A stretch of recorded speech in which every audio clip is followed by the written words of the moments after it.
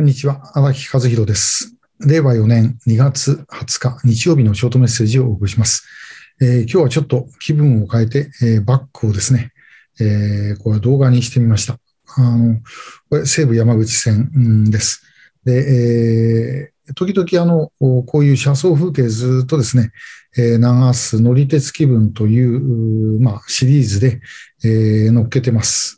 で、えまあ、その中の一つを使って、みました。まあ、あの、どうでしょう。多少気分が出ますかね。えー電車に乗りながらの話をしているような感じになるでしょうか。えーこの山口線というのは、あの、もともとは SL も走ってた、えー最初はあの、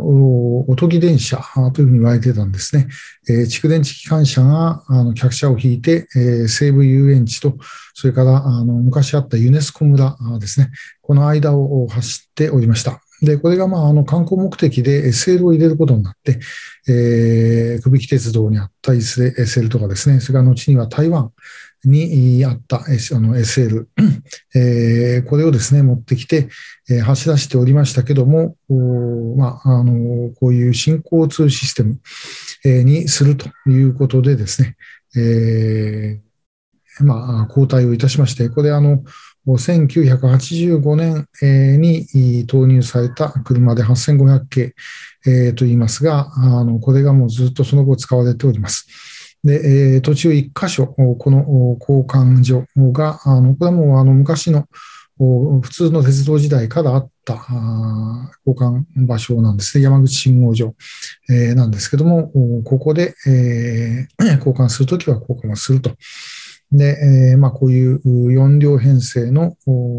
電車といってもゴムタイヤですね、の車が走ってく。えー新交通システムといってもですね、運転手さん乗ってますし、それから信号はですね、あの普通の信号機が、あのまあ、この中にも映ってますけども、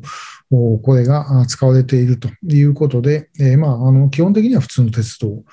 ということです。でえーまあ、あのちょっとレール、日本、東京では、まあ、あの唯一残ったあ軽便鉄道ですね、レールとレールの間が762ミリ、えーというですね、軽便鉄道だったんで、ちょっともったいなかったんですけども、まあ、とりあえず、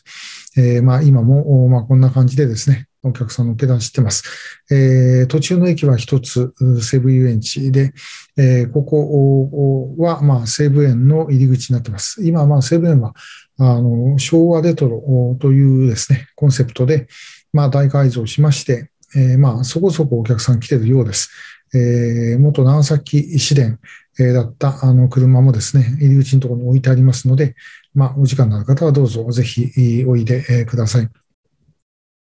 で、この乗り鉄気分とは別にですね、あの、なんていうことはなく始めたもんなんですけども、そもそも、まあ、乗り鉄って、私乗り鉄ですっていう方よくいるんですが、うん、単に乗り鉄というだけで、えー鉄道趣味の中に入れていいのかというですね、えー思いも正直言ってちょっとあることはあります。えー乗ってるだけだったらしょうがないんじゃないの、えーいうことなんですね。で、もともと本当の意味での乗り鉄っていうのは、あの、本気でやるんだったらば、もともかくですね、渡り線まで全部乗らなきゃいけないとか、あるいは、あの、日の当たってる側の窓の方に座ってですね、で、えーカーテンを戻してはいけないと、必ず見てなきゃいけない。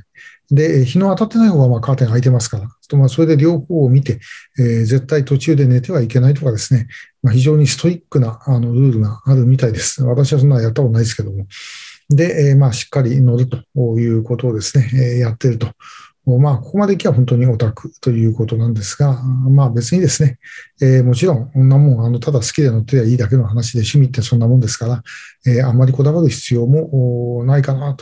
という感じは、まあ正直言ってしてます。えーまあ、もう趣味、鉄道趣味って、特にもう本当に、あの、個人みんなバラバラでですね、えー一人一人の趣味ですから、まあ、あの、誰がいいとか悪いとかいうような問題ではない、えーだろうと思います。まあ、あの、お鉄道会社と、それから、あの、買ってる他の仇のお客さんにですね、えーご迷惑かけなければ、まあ、いいんじゃないかなという感じです。